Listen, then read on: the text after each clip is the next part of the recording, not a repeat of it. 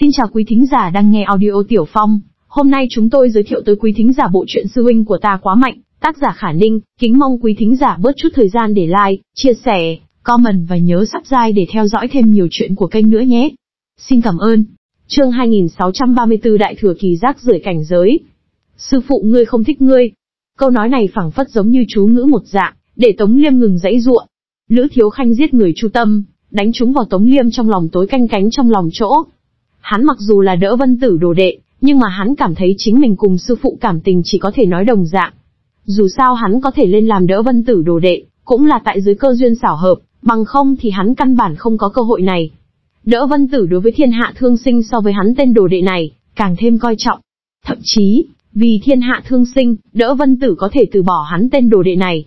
Lữ Thiếu Khanh đích xác nói không sai, đỡ vân tử không thích hắn. Mặc dù là hư ảo không chân thực nguyên thần, nhưng Lữ Thiếu Khanh có thể từ trên mặt của hắn nhìn ra được thương tâm. Nói chúng sao, Lữ Thiếu Khanh nhãn tỉnh sáng lên, tiếp tục đả kích, sư phụ ngươi là tiên nhân, ngươi là cảnh giới gì? Đại thừa kỳ, rác rưởi cảnh giới. Sư phụ ngươi có ngươi dạng này đồ đệ, đơn giản cực kỳ mất mặt, ta nếu là sư phụ ngươi, đã sớm đập chết ngươi, miễn cho ngươi đi ra cho hắn mất mặt. Đại thừa kỳ, rác rưởi cảnh giới. Lời này, làm cho tất cả mọi người đều nghĩ phun chết Lữ Thiếu Khanh. Có bao nhiêu người bị kẹt ở ngoài cửa, mong mà không được vào. Đại thừa kỳ ở cái thế giới này đã là cực hạn cảnh giới, rất nhiều người cả một đời đều không tiến vào được đại thừa kỳ, cuối cùng mang theo tiếc nuối đi về cõi tiên. Ngươi lại dám nói đại thừa kỳ là rác rưởi cảnh giới, ngươi có muốn hay không xem ngươi là cảnh giới gì, ngươi cũng là đại thừa kỳ có hay không hảo. Tống Liêm cũng bị Lữ Thiếu Khanh mà nói tức giận đến lấy lại tinh thần. Hắn thần niệm khuếch tán, ngươi cũng là đại thừa kỳ. Ta và ngươi giống nhau sao? Như ngươi loại này rác rưởi đại thừa kỳ, cũng không cảm thấy ngại so với ta. Lời nói rất chảnh, nhưng cũng rất có đạo lý. Mặc dù rất muốn chửi bậy, đám người lại không thể phản bác. Liền Tống Liêm cũng ngậm miệng lại, hắn hiện tại trở thành lữ thiếu khanh trong tay tù binh, hắn lưỡi rực rỡ hoa sen cũng vô dụng. Cuối cùng hắn lạnh lùng nói, muốn cho ta xin lỗi.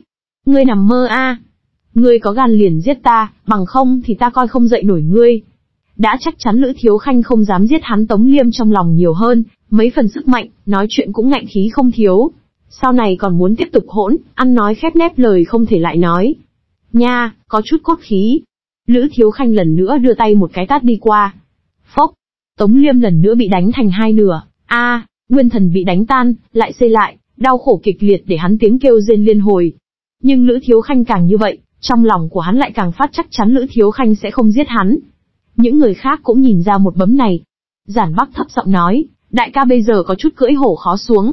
Hắn có một vị, tiên nhân sư phụ, đại ca cũng không dám thật sự giết hắn. Đại ca chỉ muốn buộc hắn cúi đầu, nhưng Tống Liêm cũng không ngốc, không có khả năng cúi đầu. Bởi như vậy, đại ca tiến thối lưỡng nan, quản đại ngư gật đầu, không tệ, lần này hắn còn có thể làm thế nào? Một mực nắm lấy hắn sao? Đến lúc đó tiền bối tìm tới cửa hắn cũng không tốt giao phó. Cứ như vậy thả hắn, mất mặt là hỗn đàn ra hỏa đâu. Phiền toái, những người khác cũng cười lạnh. Trách khải càng là đắc ý nói, đâm lao phải theo lao a, Không dám giết giới chủ, cuối cùng mất mặt chính là hắn. Hàn Tu Đức thở dài một tiếng, trong lòng rất là thoải mái, không hổ là độn giới giới chủ, cho dù dạng này tình cảnh, hắn vẫn như cũ đứng ở thế bất bại. Hừ, hắn Lữ Thiếu Khanh làm sao có thể cùng độn giới giới chủ đấu. Hãy chờ xem, đến cuối cùng, hắn Lữ Thiếu Khanh tuyệt đối phải ngoan ngoãn thả giới chủ, cuối cùng mất mặt là hắn Lữ Thiếu Khanh. Rất nhiều người đã chuẩn bị bắt đầu xem kịch. Tống Liêm bây giờ đối với Lữ Thiếu Khanh mà nói là một cái khoai lang bỏng tay, xử lý không tốt. Bất quá cũng có người mở miệng, vạn nhất hắn thật sự giết độn giới giới chủ đâu. Khả năng này vừa nói ra, lập tức lọt vào những người khác chế giễu. Nói đùa, hắn dám không?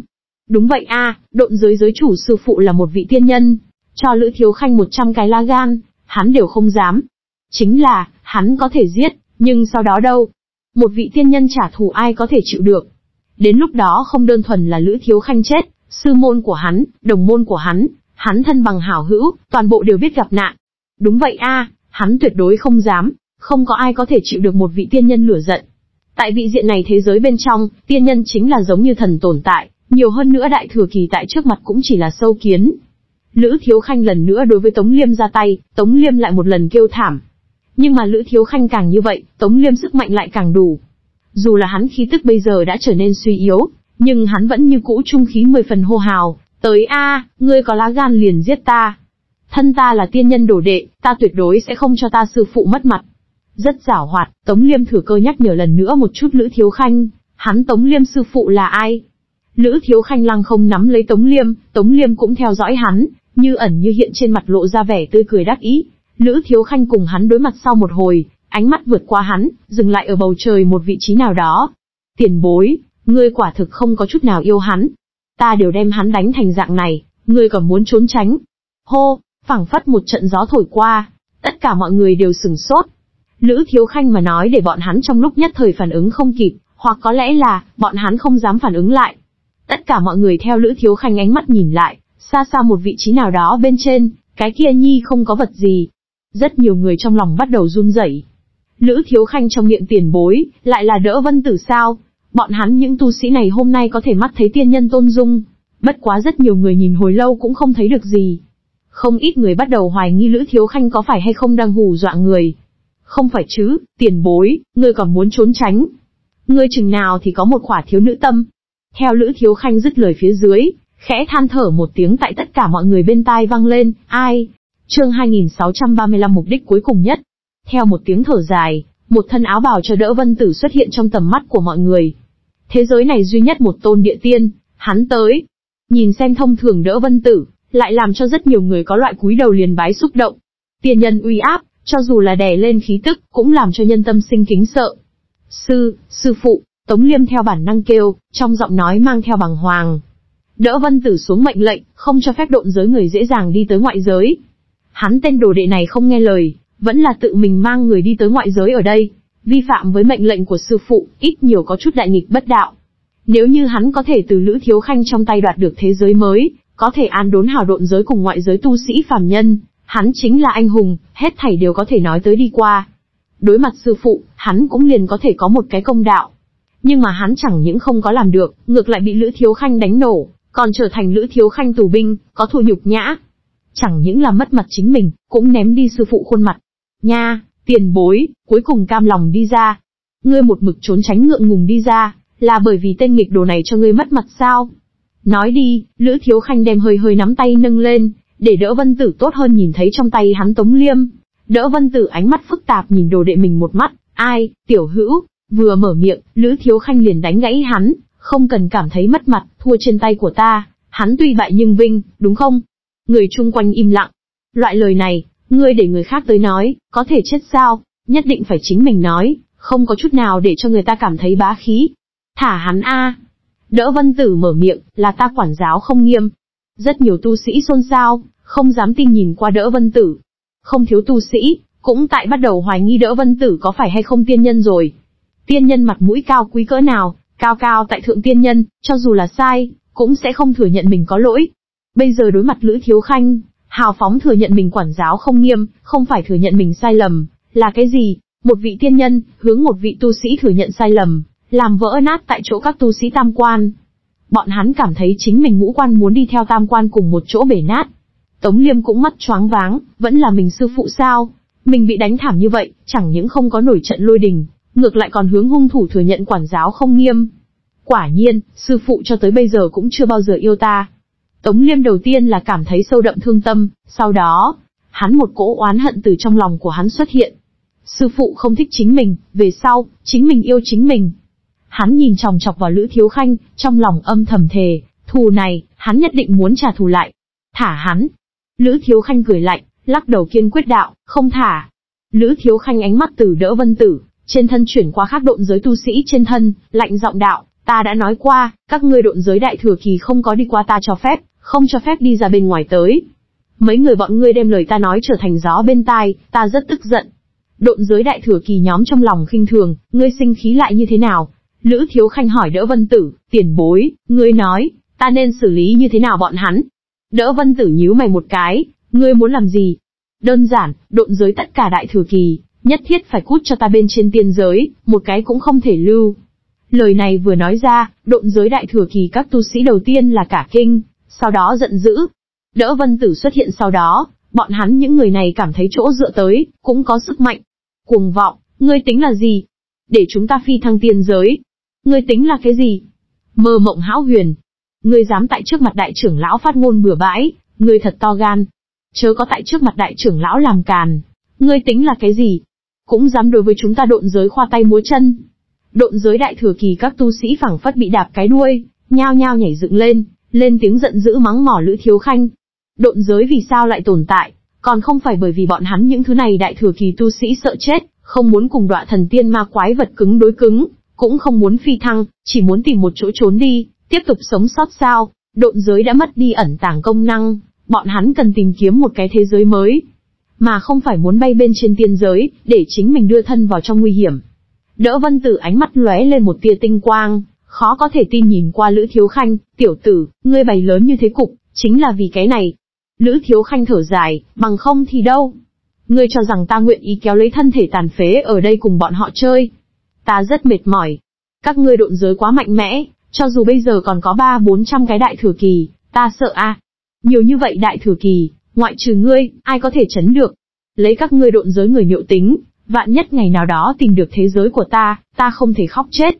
Không có đại thừa kỳ độn giới, mới là một cái hảo độn giới. Chết mất địch nhân mới là để cho người ta yên tâm địch nhân. Cái gì, cái gì? Giản Bắc ôm đầu, ngồi xổm xuống, dựa vào a, đây mới là đại cao mục đích thực sự sao? Từ vừa mới bắt đầu, mục đích của hắn chính là độn giới đại thừa kỳ nhóm. Phía trước không có cách nào toàn bộ giết chết, bây giờ muốn buộc bọn họ bên trên tiên giới. Đại ca, thần tượng của ta, giản bắc không thể không ngồi xổm, lại không ngồi xổm, hắn liền muốn quỳ xuống cúng bái. Phía trước Lữ Thiếu Khanh chỉ mở một cái truyền tống trận, gây nên 13 châu tu sĩ lửa giận, còn tưởng rằng là Lữ Thiếu Khanh sơ suất. Bây giờ mới biết, căn bản không phải sơ suất, mà là cố ý. Lữ Thiếu Khanh trước kia đều biết độn giới sẽ tham dự trong đó, cố ý khích lên 13 châu tu sĩ lửa giận, để độn giới tự mình hạ tràng. Chuyện phát sinh phía sau, cũng là Lữ Thiếu Khanh vì dẫn Tống Liêm trời độn giới tu sĩ vào cuộc. Tất cả mọi người đều bị Lữ Thiếu Khanh đùa bỡn tại ở trong lòng bàn tay. Tất cả mọi người đều là quân cờ, Lữ Thiếu Khanh là chân chính chấp cờ người. Lữ Thiếu Khanh muốn ăn hết quân cờ nhưng là Tống Liêm trời độn giới đại thừa kỳ tu sĩ. Chương 2636 có thể miễn phí giúp ngươi thanh lý môn hộ. Lữ Thiếu Khanh thật sự mục đích là độn giới đại thừa kỳ các tu sĩ. Mục đích muốn ép bọn hắn bên trên tiên giới, để tránh để bọn hắn tiếp tục lưu lại hạ giới, phòng ngừa bị bọn hắn tìm được thế giới mới tai họa. Biết một bấm này sau đó, tất cả tu sĩ nhìn qua Lữ Thiếu Khanh ánh mắt cũng thay đổi, rung động, kính sợ, khó có thể tin các loại. Đến cùng là hạng người gì mới có thể có khủng bố như thế tính toán cùng sắp đặt, quản đại ngưu cũng học giản bắc một dạng, ôm đầu ngồi xổm xuống, mặt mũi tràn đầy khó có thể tin, có thể tại đánh bại đọa thần sứ một khắc này, hắn liền liếc tới độn giới. Không có cách nào giết chết độn giới đại thừa kỳ, như vậy thì đem bọn hắn toàn bộ đều bắt kịp đi. Kể từ lúc đó liền bắt đầu sắp đặt, không đến cuối cùng, người khác căn bản vốn không biết mục đích thực sự của hắn. Hỗn đản a, còn không biết xấu hổ ế láp khuôn mặt nói mình đơn thuần. Quản đại ngư mười phần không cam lòng, Lữ Thiếu Khanh nếu là đơn thuần nam hài. Tại chỗ ở đây tất cả mọi người đều là cắt dựng lên. Hạ ngữ, tuyên vân tâm, giản nam, mạnh tiêu tứ nữ đầy mắt sợ hãi thán phục. Cũng chỉ có Lữ Thiếu Khanh mới có thể làm như vậy. Cũng chỉ có hắn mới có thể làm được. Lấy thực lực cường đại làm hậu thuẫn, để mỗi một bước đều dựa theo hắn ý tứ đi. Tiểu Hồng cười hắc hắc, đều nói, lão đại ta là lợi hại nhất. Câu nói này, không ai có thể phản bác. Hạ ngữ nhẹ giọng mở miệng, thiếu khanh sư đệ vẫn tại vì môn phái, vì mọi người cân nhắc. Đến lúc đó có thể tránh lo âu về sau đi tiên giới. Lời này vừa ra, đám người trầm mặc. Có thể nói lữ thiếu khanh đủ loại hỏng, nói hắn đủ loại không tốt, nhưng duy chỉ có một điểm không nói được. Chính là hắn đối với môn phái, đối với người bên cạnh không thể chê. Thiều nhận đau lòng đạo, khổ hắn, đỡ vân tử cũng trầm mặc rất lâu, qua một hồi lâu, hắn lần nữa cảm thán một tiếng, tiểu tử ngươi, hắn trong lúc nhất thời không biết nói như thế nào hảo. Đứng tại độn giới góc độ, Lữ Thiếu Khanh mười phần đáng giận. Nhưng đứng tại lăng tiêu phái hoặc 13 châu trên lập trường, Lữ Thiếu Khanh việc làm có thể để bọn hắn vỗ tay khen hay. Cho nên, tiền bối, người ý tứ như thế nào? Lữ Thiếu Khanh cười hỏi, đám này không nghe lời nghịch tử, ngươi sẽ không còn nghĩ bảo vệ bọn hắn a không nghe lời hài tử, chính mình không giáo dục, xã hội sẽ giúp ngươi giáo dục. Sư phụ ta nếu là có dạng này không nghe lời đồ đệ, đã sớm động thủ đánh chết, cũng chỉ có ngươi mới có thể giữ lại bọn hắn. Giản bắc bọn người nhìn qua thiểu nhận. Thiểu nhận sắc mặt hơi đỏ bừng, trái lương tâm nói cái này, hắn vẫn tương đối nghe lời. Đồ đệ của mình, nơi nào cam lòng đánh chết. Đỡ vân tử nhìn xem bị Lữ Thiếu Khanh nắm ở trong tay Tống Liêm, đau đớn Tống Liêm, để hắn không mở miệng không được, để trước người A. Phóng cái gì phóng? Trước tiên bàn luận tốt lại nói, Lữ Thiếu Khanh lười nhác không có đáp ứng, đồ đệ như vậy, ngươi còn muốn. Đầu nhân hiện nhãn đông tây, ta giúp ngươi thanh lý môn hộ như thế nào? Miễn phí. Đỡ vân mục nhỏ quang trở nên sắc bén, ngươi đều có thể thử xem. Thử xem liền thử xem. Lữ Thiếu Khanh cũng không e ngại, lúc này một kiếm đem Tống Liêm chém thành hai khúc. A, Tống Liêm lần nữa kêu thảm, Nguyên Thần lại độ rút lại. Liên tiếp bị trọng thương Nguyên Thần chỉ có phía trước một phần ba lớn nhỏ. Lại đến nhiều một hai lần, có thể liền sẽ vẫn lạc. Lữ Thiếu Khanh hành động này để mọi người thấy phải trong lòng hàn khí ứa ra. Một bên vì Tống Liêm bi thảm cảm thấy đáng thương đồng thời, cũng một bên vì Lữ Thiếu Khanh hung tàn mà kinh hãi. Tục ngữ nói, đánh chó còn phải nhìn mặt chủ nhân. Tống Liêm như thế nào đi nữa cũng là đỡ vân tử đồ đệ, là tiên nhân đệ tử. Lữ Thiếu Khanh là một điểm mặt mũi cũng không cho, nói lộng ngươi liền lộng ngươi, quản ngươi cái gì tiên nhân đệ tử, quản ngươi cái gì tiên nhân, một điểm mặt mũi cũng không cho. Chặt xong Tống Liêm sau đó, Lữ Thiếu Khanh lần nữa đem Tống Liêm nắm ở trong tay, hỏi đỡ vân tử, tiền bối, cảm thụ được quyết tâm của ta sao? Thực tình có thể giúp ngươi thanh lý môn hộ, miễn phí a. Đừng đừng tiên nhân, có đệ tử như vậy, truyền đi, rất ném lão nhân ra người khuôn mặt. Thấy cảnh này tu sĩ trong lòng phát run. Lữ Thiếu Khanh lòng can đảm lớn như thế sao, dám đối xử như thế tiên nhân, liền không sợ tiên nhân trả thù, quản đại ngưu run rẩy, hỗn đản ra hỏa, hắn là một điểm sợ đều không mang theo sao. Đến lúc đó tiền bối nổi giận, thế giới này sẽ sớm hủy diệt. Tiên nhân giận dữ, đâu chỉ thây nằm vạn dặm, máu chảy thành sông, thế giới sẽ trực tiếp hủy diệt. Đỡ vân tử nhìn qua Lữ Thiếu Khanh, trong lòng càng thêm bất đắc dĩ, không thể không mở miệng lần nữa, như thế nào mới bằng lòng thả người. Ta đã nói rồi. Lữ Thiếu Khanh cười, để bọn hắn đi tiên giới. Người đáp ứng, ta liền thả người. Nhìn xem đỡ vân tử tựa hồ lâm vào suy xét, Lữ Thiếu Khanh lại nói, tiền bối, bọn hắn lưu tại nơi này có ích lợi gì? Trốn ở hạ giới, đã trở thành một cái phế vật, không những đối với thế giới không có bất kỳ cái gì cống hiến, ngược lại giống sâu hút máu một dạng không ngừng cắn nuốt thế giới tài nguyên. Đừng quên độn giới sáng lập mục đích A. Câu nói sau cùng để đỡ vân tử triệt để quyết định, hắn một lời đáp ứng, hảo. Ta đáp ứng ngươi. Lớn, đại trưởng lão. Không, đại trưởng lão, không thể đáp ứng hắn, khác độn giới tu sĩ luống cuống, loại này thai quá yêu cầu cũng có thể đáp ứng, hỏi qua bọn hắn sao. Lữ Thiếu Khanh cười càng thêm vui vẻ, hắn lung lay trong tay Tống Liêm, báo quát hắn. Không có vấn đề, nơi xa giản bắc lẩm bẩm, đại ca nói không sai, tiền bối thật sự không thích đồ đệ của hắn, Thiều nhận lại thở dài, đồ đệ của mình, sao có thể không thích. Đỡ vân tử tiền bối chính là bởi vì yêu hắn đồ đệ, mới đáp ứng thiếu khanh yêu cầu. Là vì bảo vệ hắn đồ đệ tính mệnh. Thân là sư phụ thiều nhận thấy rõ ràng biết rõ, Tống Liêm lưu tại nơi này, thiếu khanh nhất định sẽ tìm cơ hội giết hắn. Tiên giới mặc dù nguy hiểm, đi lên cũng chưa chắc nhất định có sinh mệnh nguy hiểm, nhưng lưu lại hạ giới, thiếu khanh tuyệt đối sẽ không cho hắn sống sót cơ hội. Chương 2637 tiền bối phát cái thề A, Thiều nhận cùng đỡ vân tử đều có cùng thân phận, cũng là một vị sư phụ. Cho nên, Thiều nhận hắn nhìn thấy trong đó sau lưng hàm nghĩa. Đỡ vân tử đáp ứng Lữ Thiếu Khanh điều kiện, không thể nói toàn bộ là bởi vì đồ đệ, nhưng tuyệt đại một phần là bởi vì Tống Liêm tên đồ đệ này. Đỡ vân tử cùng Lữ Thiếu Khanh tiếp xúc qua, đối với Lữ Thiếu Khanh tính cách đã có biết. Nhìn xem hi hi ha ha, không có chính hình, thật đến một bước kia, Lữ Thiếu Khanh giết chết giết Tống Liêm, là một điểm do dự cũng sẽ không mang. Vì đồ đệ, tình nguyện bỏ qua chính mình khuôn mặt, hết thảy đều là vì đồ đệ của mình. Ai, thiều nhận trong lòng cảm thán, đáng thương thiên hạ sư phụ tâm. Có cái không bớt lo đồ đệ cũng là rất để cho người nhức đầu. Thiều nhận đối với đỡ vân tử không hiểu có mấy phần thông cảm. Bất quá, thiều nhận nhìn mình đồ đệ bóng lưng, trong lòng sinh ra một cỗ kiêu ngạo. Cùng những người khác so sánh, vẫn là mình đồ đệ khả ái, không cần hắn người sư phụ này lo lắng. Đám người bừng tỉnh, Mặt ngoài nhìn xem không thích, trên thực tế yêu là giấu ở chi tiết bên trong. Vì đồ đệ, tiên nhân đều kéo xuống mặt mũi tới. Nhưng mà, tại Tống Liêm xem ra, là sư phụ của hắn không thích hắn thêm một bước biểu hiện. Tống Liêm nguyên thần run rẩy mấy lần, lộ ra một cỗ suy bại chi khí, thụ thương nghiêm trọng hắn, tăng thêm thể xác tinh thần bị đả kích, lúc này đã có một loại chống đỡ không nổi dấu hiệu. Đỡ vân tử nhịn không được quát lên, tiểu tử, thả người. Lữ thiếu khanh nắm vuốt Tống Liêm nhìn qua đỡ vân tử, vẫn là chậm rãi, tiền bối phát cái thề A. Dựa vào, rất nhiều người trong lòng nhịn không được chửi mẹ. Liền thiều nhận cũng không nhịn được mắng ra miệng, hỗn trướng, không nên quá phận A. Tiên nhân không biết xấu hổ A.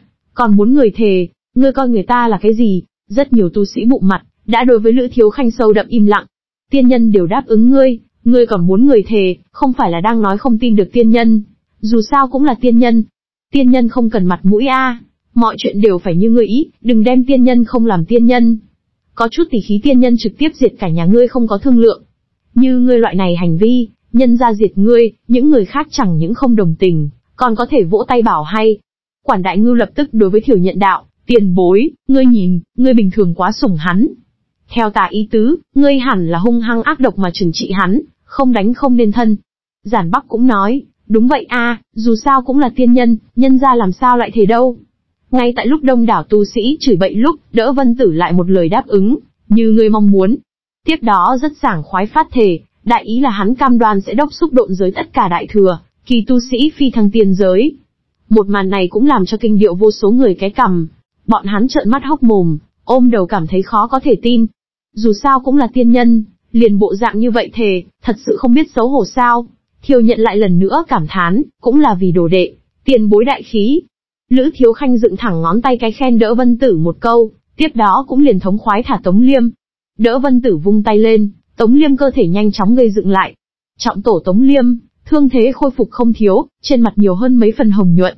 Sư phụ, Tống Liêm cúi đầu, hắn đã không mặt gặp người. Nếu như có thể, hắn nghĩ trước tiên biến mất ở ở đây. Cúi đầu, khí tức suy yếu, uể oải suy sụp, lộ ra mười phần chật vật. Cũng không còn vừa rồi tới chỗ này loại kia chỉ khí cao dương. Những người khác thấy cảnh này, trong lòng nhịn không được không nói gì. Đối với Tống Liêm sinh ra càng nhiều thông cảm, mang người khí thế vội vàng đi tới nơi này, vốn cho rằng đoạt được thế giới mới là 10 phần chắc chín. Nhưng chưa từng nghĩ chính mình sớm liền bị người mưu hại, chờ đợi hắn tự chui đầu vào lưới. Mặc dù là độn giới giới chủ, cũng mang theo một món lớn thủ hạ mã tử đến đây. Lại bị nhân ra ép tới gắt gao, chính mình còn trở thành đối phương tù binh. Bị đánh kém chút hình thần câu diệt. Lữ Thiếu Khanh mặc dù không có giết hắn, nhưng so giết hắn còn thảm hơn. Bị giết, chỉ là cơ thể cùng linh hồn hủy diệt vẫn lạc. Không giết, lại là trước mặt mọi người bị nhục nhã, so chết càng thêm thảm. Nhìn xem Tống Liêm dáng vẻ, không ít người trong lòng âm thầm nghĩ lấy, có thể, phi thăng tiên giới cũng tốt điểm. Dù sao, hạ giới, không mặt mũi tiếp tục ở lại. Tống Liêm mặt xám như cho, khác độn giới đại thừa kỳ nhóm cũng không khá hơn chút nào. Bọn hắn chỉ hy vọng đây là một giấc mộng, chỉ cần tỉnh lại liền có thể biến mất ác mộng. Bọn hắn chỉ muốn tìm một cái thế giới mới trốn đi. Bây giờ đối với bọn hắn tới nói, có một tin tức tốt, có thể đi một cái thế giới mới. Tin tức xấu, đi chính là tiên giới. Tiên giới như thế nào hung hiểm, không dùng người nói, bọn hắn cũng có thể cảm thụ được phía trên xảy ra vấn đề. Bọn hắn không muốn đi, nhưng, bọn hắn tựa hồ không thể không đi. Đỡ vân tử thề, xem như giám sát người, ai dám không đi, đi tiên giới, sẽ không lập tức chết. Không đi tiên giới, sẽ lập tức chết. Tống Liêm trở lại bên cạnh, đỡ vân tử xem qua một mắt chính mình tên đồ đệ này, nhìn lại một chút Lữ Thiếu Khanh. Trong lòng nhịn không được cảm thán, người với người, quả nhiên không so được. Âm thầm hít sâu một hơi, âm thầm treo lên 12 phần tinh thần, ánh mắt sắc bén nhìn chằm chằm Lữ Thiếu Khanh. Tiên nhân ngừng thị, trong nháy mắt, thiên địa biến đổi, tất cả tu sĩ cảm thấy thiên địa tối sầm lại, dù là còn có thái dương treo móc ở trên bầu trời. Nhưng tất cả mọi người chính là cảm thấy thiên địa lờ mờ, phẳng phất thái dương tiêu thất, hắc ám đã buông xuống. Đồng thời bọn hắn có một loại trời sập cảm giác, thể xác tinh thần cảm nhận được cường đại áp bách. Một chút tâm cảnh hư nhược tu sĩ thì toàn thân run rẩy, sợ hãi để bọn hắn khó khống chế chính mình, có loại sụp đổ ảo giác. Rất nhiều người trong lòng kêu, đây chính là tiên nhân đáng sợ sao? Bọn hắn chỉ là ở bên cạnh liền cảm nhận đến đáng sợ như thế áp lực. Bị đỡ vân tử trực tiếp đối mặt Lữ Thiếu Khanh đâu, có thể hay không lập tức hỏng mất. Rất nhiều người cố nén sợ hai ánh mắt rơi vào Lữ Thiếu Khanh trên thân. Nhưng mà bọn hắn chỉ là nhìn thấy Lữ Thiếu Khanh lui về sau một bước, Tiếp đó lớn tiếng kêu lên, làm gì? Tiền bối, ngươi đừng như vậy, ta sợ. Chương 2638 hắn lại có mục đích gì? Phốc, thấy cảnh này, đám người bỗng nhiên cảm thấy không có áp lực lớn như vậy. Nhưng cũng rất muốn thổ huyết. Rất nhiều người muốn phát điên. Bọn hắn rất muốn biết Lữ Thiếu Khanh đến cùng là cái gì cấu tạo. Đối mặt tiên nhân, một điểm áp lực cũng không có. Sợ, nhìn một chút Lữ Thiếu Khanh dáng vẻ, nơi nào có sợ dáng vẻ, đỡ vân tử cảm thấy ngực có chút khó chịu, khí tức hơi chậm lại. Tiểu tử này, thật là hỗn đản. Ngươi có phải hay không cảm thấy ta dễ ức hiếp?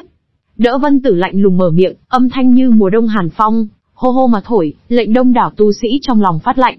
Mặc dù đỡ vân tử một mực tại tản mát ra khí tức của mình, ép tới đám người không thở nổi.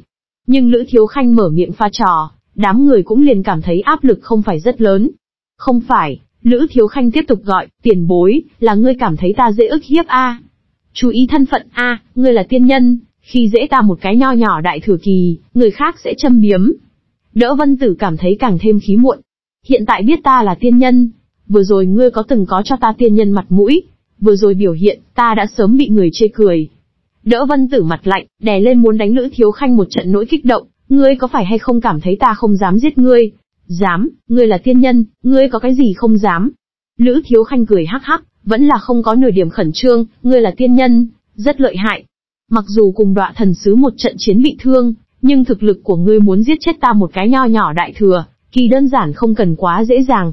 Đỡ vân tử trong lòng hừ một tiếng, hắn yên năng nghe không ra Lữ Thiếu Khanh nói bóng gió.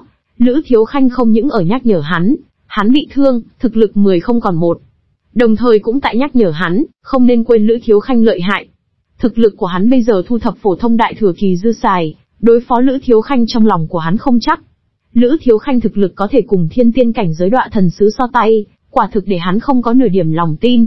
Cái này cũng là vì cái gì hắn thỏa hiệp nguyên nhân.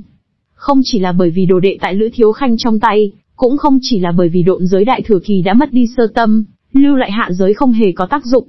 Còn có bởi vì Lữ Thiếu Khanh thực lực cường đại. Để hắn cái này tiên nhân đều kiêng rẻ không thôi.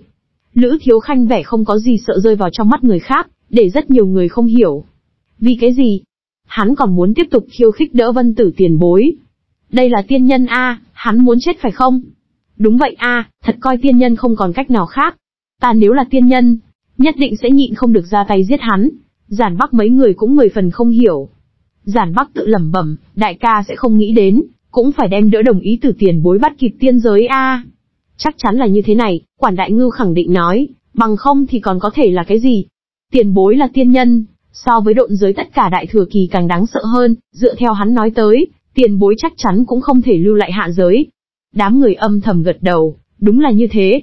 Địa tiên cảnh giới, vượt qua hạ vị diện thế giới cực hạn. Tại hạ giới đã là tồn tại vô địch. Đừng nói hơn ngàn cái đại thừa kỳ, một vạn cái, mười vạn cái đại thừa kỳ đều không làm gì được một tôn tiên nhân. Độn giới đại thừa kỳ Lữ Thiếu Khanh đều không yên lòng, một tôn so đại thừa kỳ càng đáng sợ hơn tiên nhân, Lữ Thiếu Khanh tuyệt đối sẽ không bỏ mặc mặc kệ. Để hắn bên trên tiên giới là lựa chọn tốt nhất. Đỡ vân mục nhỏ quang sâu kín nhìn chằm chằm Lữ Thiếu Khanh, mặt không biểu tình, thậm chí có mấy phần lạnh lùng. Dạng này đỡ vân tử tản mắt ra một cỗ lệnh nhân e ngại khí tức. Đương nhiên, cỗ khí tức này đối với Lữ Thiếu Khanh không có nửa điểm ảnh hưởng. Lữ Thiếu Khanh còn ở đó kêu, tiền bối, ngươi là đánh bại đọa thần sứ người, ngươi sợ cái gì? Thế giới này có thể có chuyện gì là ngươi cố kỵ sao? Đến đây đi, tất nhiên tiền bối ngươi muốn giết ta, động thủ đi. Lữ Thiếu Khanh lồng ngực nhô lên tới, ta nếu là một chút nhíu mày, ta cũng không phải là nam nhân. Vô lại bộ dáng, cũng không sợ đỡ vân tử uy hiếp. Tống Liêm thấy thể nội huyết khí lăn lộn, rất muốn thổ huyết. Tống Liêm thấp giọng kêu một tiếng, sư phụ. Đều như vậy, ngươi còn không ra tay sao? Sư phụ, hắn thật là con tư sinh của ngươi sao? Liền xem như con tư sinh, bây giờ cũng là không nghe lời con tư sinh, ngươi đánh không chết hắn, cũng phải gọt hắn một trận a. Ngươi không được quên thân phận của ngươi a, tiên nhân a. Nào có tiên nhân giống như ngươi tử, Tống Liêm chỉ hận chính mình bị thương, bằng không thì cho dù là thực lực không bằng Lữ Thiếu Khanh hắn muốn xuất thủ. Đánh không lại là một chuyện, có dám hay không ra tay lại là một chuyện khác. Tống Liêm nhịn không được, đỡ Vân Tử cũng không nhịn được. Hỗn đản tiểu tử, quá khinh người, Đỡ vân mục nhỏ quăng lóe lên, trường kiếm trong tay hướng về phía Lữ Thiếu Khanh một kiếm bổ ra. Trong chốc lát, kiếm quang chói mắt, bao phủ cả phiến thiên địa, tất cả mọi người phẳng phất đưa thân vào thái dương bên trong. Bất quá ánh sáng lóe lên, tới cũng nhanh, đi cũng nhanh. Đám người chỉ là cảm thấy trước mắt tia sáng lóe lên, tiếp đó khôi phục bình thường. Bọn hắn nhìn về phía Lữ Thiếu Khanh vị trí. Ánh sáng màu trắng tại một mảnh kia không gian lấp lóe, di động, giống như một con sông lớn, màu trắng hà thủy đang lao nhanh, gào thét, cuốn lên bọt nước đem Lữ Thiếu Khanh thôn phệ. Lữ Thiếu Khanh biến mất ở cuồn cuộn hà thủy chi trung. Ở chung quanh, nhưng là sụp đổ không gian hình thành hư không, màu đen hư không cùng bạch sắc kiếm quang tạo thành chênh lệch rõ ràng. Đông đảo tu sĩ hoảng sợ. Đỡ vân tử một kiếm này, so với phía trước Tống Liêm toàn lực một kiếm phải cường đại nhiều lắm. Hắn, hắn chết a, Chắc chắn chết, tiên nhân ra tay, ai có thể ngăn cản được. Tiên nhân thần thánh, hắn mạo phạm tiên nhân, chết chưa hết tội. Mà ở đông đảo tu sĩ cảm thấy Lữ Thiếu Khanh chết chắc thời điểm, kiếm quang chậm rãi tiêu thất, Lữ Thiếu Khanh thân ảnh một lần nữa hiện lên ở tầm mắt mọi người bên trong. Dựa vào A. Lữ Thiếu Khanh bi phấn âm thanh vang vọng đất trời, rõ ràng truyền vào trong tai mỗi người, y phục của ta. Chương 2639 có thể bồi y phục của ta sao? Nếu như không có nghe được Lữ Thiếu Khanh trong lời nói nội dung, Tất cả mọi người nhất định sẽ cho rằng Lữ Thiếu Khanh là nhận lấy tổn thương cực lớn. Nhưng mà Lữ Thiếu Khanh bi phẫn lên lại là y phục của hắn. Mặc trên người quần áo rách tung tóe, mảng lớn chỗ bị cắt thành vải, treo ở trên thân, đón gió mà phiêu. Mà đỡ vân tử đối với Lữ Thiếu Khanh tạo thành tổn thương cũng giới hạn nơi này. Ngoại trừ để Lữ Thiếu Khanh quần áo biến thành rách dưới bên ngoài, không có đối với Lữ Thiếu Khanh tạo thành những thứ khác tổn thương. Đông đảo tu sĩ nhìn xem trong lòng hàn khí ứa ra. Rốt cuộc mạnh cỡ nào, tiên nhân một kiếm xuống, bình thường đại thừa kỳ không chết cũng phải nửa tàn phế. Lữ Thiếu Khanh đâu? Trừ quần áo ra mục nát bên ngoài, cái khác một chút sự tình cũng không có. Rất nhiều người cảm thấy khó có thể tin. Đến cùng ai là tiên nhân, ai là đại thừa kỳ, chân chính đại thừa kỳ sẽ mạnh như vậy sao? Một chút tu sĩ cảm thấy thế giới quan của bản thân sụp đổ. Lúc nào đại thừa kỳ, cũng có thể ngạnh kháng tiên nhân công kích mà không phát hiện chút tổn hao nào. Tiền bối, có thể bồi y phục của ta sao? Lữ Thiếu Khanh âm thanh vang lên lần nữa, ngươi muốn đánh liền đánh chết ta, đừng cầm y phục của ta xuất khí a. Dựa vào. Cuồng vọng a. Hắn làm sao dám? Hắn là thực sự không sợ chết sao? Rất nhiều tu sĩ nhịn không được chửi. Vậy, vẫn còn tiếp tục khiêu khích tiên nhân, còn gọi nhân ra buổi quần áo ngươi. Làm sao dám? Đỡ vân tử biểu lộ không thay đổi, nhưng mà trong mắt lại là nhiều hơn mấy phần ngưng trọng. Tựa hồ trở nên càng thêm mạnh. Đỡ vân tử trong lòng âm thầm nói một câu. Tiểu tử này, thâm bất khả chắc. Đỡ vân tử thấy qua vô số thiên tài, nhưng giống lữ thiếu khanh dạng này thiên tài, hắn còn là lần đầu tiên gặp. Thực lực thâm bất khả chắc. Hắn cái này tiên nhân đều không cảm giác được lữ thiếu khanh thực lực chân chính. Nhưng mà, một lần không được, như vậy thì tới lần thứ hai a. Tóm lại muốn để tiểu tử khốn kiếp ăn chút đau khổ, bằng không thì hắn cái này tiên nhân mặt mũi hà tồn. Nhìn xem đỡ vân tử lại có muốn xuất thủ dấu hiệu, Lữ Thiếu Khanh vội vàng hô hào, tốt a, không cần bồi y phục. Ngươi cũng đừng nói đùa với ta, ngươi có chuyện gì ngươi cứ việc nói thẳng a. Đỡ vân tử sắc mặt lập tức dễ nhìn không thiếu. Tu sĩ khác cũng biểu thị đây mới là bình thường họa phong đi. Tiên nhân ra tay, đại thừa kỳ tu sĩ sao có thể hoàn hảo không chút tổn hại. Chỉ có thể là tiên nhân không có suất toàn lực, là đang mở trò đùa mới có thể nói qua được. Đỡ vân tử lúc này tán đi sát khí, hừ, tiểu tử ngươi sợ. Tiên nhân cũng muốn mặt mũi, cứ như vậy cho mình vãn hồi một điểm mặt mũi a. Sợ, Lữ Thiếu Khanh kêu to, ngươi lại đến một chút, ta liền phải bị tất cả mọi người nhìn ảnh nút. Không cho linh thạch, còn nghĩ xem ta ảnh nút. Nghĩ cũng đừng nghĩ. Mẹ nó, đỡ vân tử thủ run một cái, lại có muốn cho Lữ Thiếu Khanh một kiếm xúc động. Mà Lữ Thiếu Khanh sư phụ Thiểu Nhận thì gầm hét lên, hỗn trướng, đối với tiền bối tôn trọng một chút. Thiểu Nhận đều nhanh hù chết. Bất kể như thế nào, đỡ vân tử cũng là tiên nhân. Chọc giận hắn, đến lúc đó đánh nhau, Lữ Thiếu Khanh không nhất định không có việc gì, những người khác nhất định sẽ có việc. Lữ Thiếu Khanh thở dài, ai, không có cách nào, sư phụ nói lời chỉ muốn nghe. Tốt a, tiền bối, ngươi nói đi, ngươi có cái gì yêu cầu? Sư phụ nói lời chỉ muốn nghe, Đứng tại đỡ vân tử bên cạnh Tống Liêm cảm thấy câu nói này vô cùng chói tai. Như thế nào nghe đều cảm thấy Lữ Thiếu Khanh là đang châm chọc hắn. Tên đáng chết, Tống Liêm trong lòng đại hận, hắn chợt nghe đỡ vân tử mở miệng, tiểu tử, kế tiếp ngươi có tính toán gì? Có tính toán gì? Tự nhiên là mang theo thiên hạ sinh linh tiến vào ta đại nhi thế giới. Đỡ vân tử tăng thêm ngữ khí, thần sắc bất thiện, ta hỏi là, bớt ở chỗ này cho ta giả bộ hồ đồ. Ta à, Lữ Thiếu Khanh cười hắc hắc, tự nhiên là chờ tại ta đại nhi thế giới, Tiêu giao tự tại a, ta vì hòa bình thế giới ra một phần lực, là thời điểm hưởng thụ một chút, a. Quản đại ngưu nhìn qua hạ ngữ, không phải nói hắn muốn lên tiên giới sao? Hạ ngữ khẽ gật đầu một cái, bên trên tiên giới, bất quá là suy đoán của ta thôi. Đỡ vân tử khẽ nói, ngươi không được, ngươi cũng muốn nhất định phải lên tiên giới. Ngươi là đọa thần tiên ma quái vật khắc tinh, ngươi không thể đổi phế xa đọa. Dựa vào. Lữ thiếu khanh nhảy dựng lên, chỉ vào đỡ vân tử hô to, lão đầu, ngươi trả đũa a Lão, lão đầu, rất nhiều tu sĩ kém chút hoài nghi lỗ tai của mình xảy ra vấn đề. Lữ Thiếu Khanh dám xưng hô như vậy đỡ vân tử, bọn hắn không thể không bội phục Lữ Thiếu Khanh lòng can đảm. Đỡ vân tử cũng là sắc mặt run rẩy một chút, tiểu tử khốn kiếp. Ngươi dạng này tiểu tử khốn kiếp vẫn là mau tới tiên giới, đi đối phó đọa thần tiên ma quái vật thì tốt hơn. Lưu lại hạ giới, quả thực là lãng phí. Người nhất định phải đi lên. Đỡ vân tử lạnh lùng nói. Lữ thiếu khanh cái kia sinh khí a, tiếp tục chỉ vào đỡ vân tử mắng to, trả đũa, ngươi có ý tốt sao? Còn nói tiên nhân, xem ra là một cái hẹp hòi tiên nhân.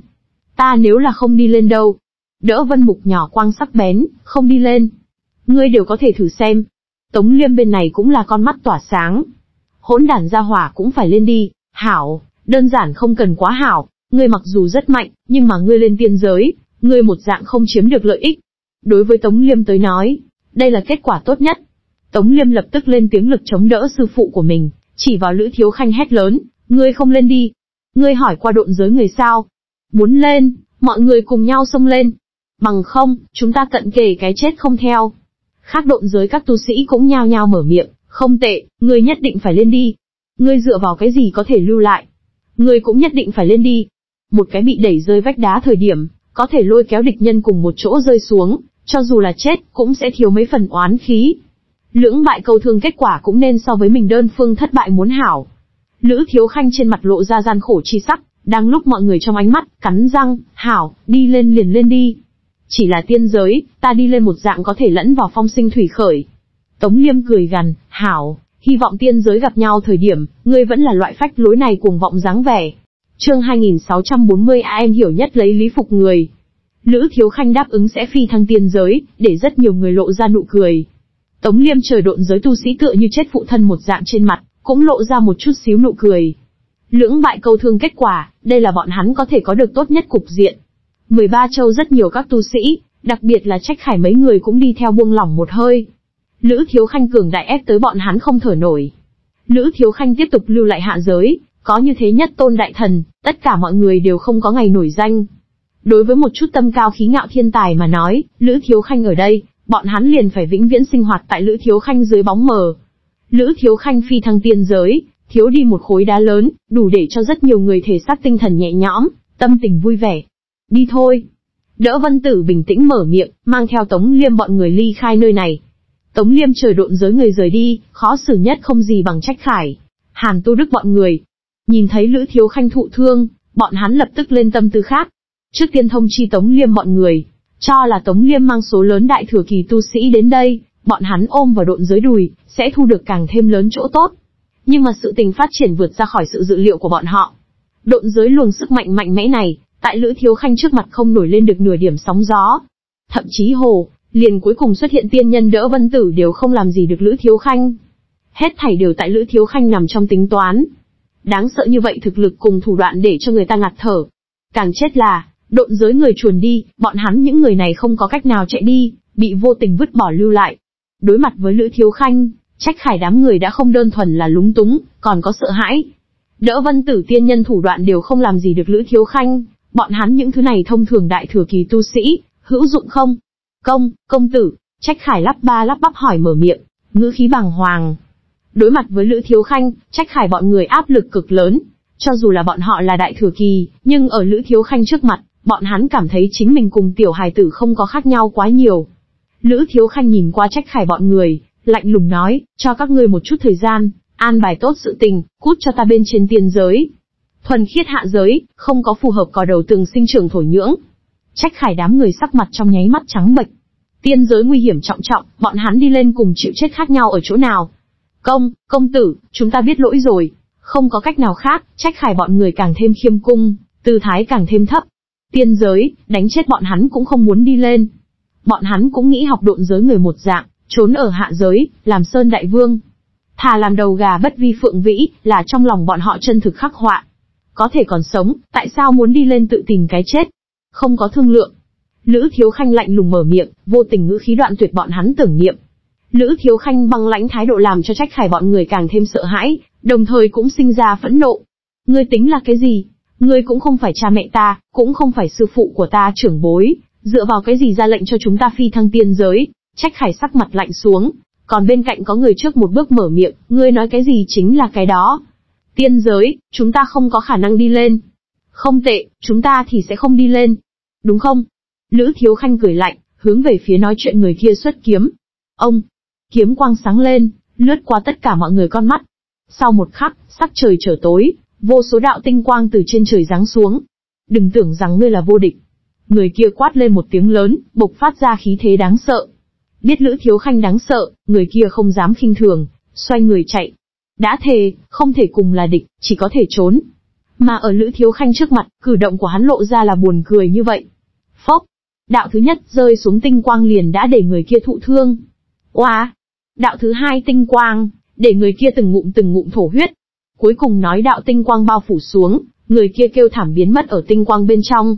Tại ánh sao đầy trời bên trong, thân thể của hắn sụp đổ, cuối cùng tiêu thất, trong không gian phẳng phất tạo nên một tầng gợn sóng, hắn nguyên thần hướng về nơi xa bỏ chạy. Phá! Lữ Thiếu Khanh nhẹ nhàng đọc nhấn rõ từng chữ, vô hình không gian phẳng phất chấn động, xẹt qua hai tia chớp. Đông đảo đại thừa kỳ tu sĩ sợ hãi đứng lên. Bọn hắn nghe được chạy trốn nguyên thần kêu thảm tiếng kêu rên. Ở trong hư không, đã trốn sang nguyên thần tiêu tan, hoàn toàn chết đi. Một cái đại thừa kỳ tu sĩ cứ như vậy vẫn lạc. Trách khải bọn người sắp sợ tè ra quần. Lữ Thiếu Khanh trở nên càng thêm đáng sợ, cũng làm cho bọn hắn càng thêm sợ hãi. Hiện tại xem ra, phía trước Lữ Thiếu Khanh đối phó bọn hắn còn lưu lại tay. Một kiếm chấn nhiếp trách khải mười mấy hai mươi cái đại thừa kỳ, Lữ Thiếu Khanh mở miệng lần nữa, còn có người có ý kiến phản đối sao? Nói ra, ta và ngươi giảng đạo lý. Ta người này am hiểu nhất lấy lý phục người. Lấy lý phục người. Ánh mắt mọi người rơi vào Lữ Thiếu Khanh trong tay sáng lấp lóa trên trường kiếm. Mọi người cùng nhau trốn. Có người quát lớn một tiếng. Trong nháy mắt, hơn phân nửa nhân hóa vì lưu quang, hướng về nơi xa chạy trốn. Không thể cùng là địch, cũng đánh không lại. Chỉ có thể chạy trốn. Nhiều người như vậy cùng một chỗ trốn, ngươi lại có thể thế nào chặn lại. Không ít người trong lòng âm thầm nghĩ lấy, đồng thời cũng quyết định, ly khai nơi này sau đó, chính mình tìm một chỗ ổ đứng lên. Đợi đến Lữ Thiếu Khanh sau khi phi thăng lại lộ đầu. Nhưng mà, bành, từng tiếng tiếng vang to lớn vang lên. Từng đạo lưu quang phẳng phất đâm vào trong suốt trên tường, đâm đến đầu rơi máu chảy, mắt nổi đom đóm. Một màn này choáng váng rất nhiều người. Xảy ra chuyện gì? Trách khải bọn người tâm thần điều chấn. Lữ Thiếu Khanh đã mạnh đến có thể phong tỏa toàn bộ không gian sao? Lữ Thiếu Khanh cười ha ha một tiếng, rất tốt. Sau đó không chút khách khí hướng về phía những cái kia chạy trốn người hạ thủ. Chạy trốn người muốn hoàn thủ, Lữ Thiếu Khanh hét lớn một tiếng, không nên quên các ngươi phát thề. Một câu nói bỏ đi bọn hắn ý niệm phản kháng. Bọn hắn tà thiểm hữu tị, lại tại Lữ Thiếu Khanh trong kiếm quang sụp đổ,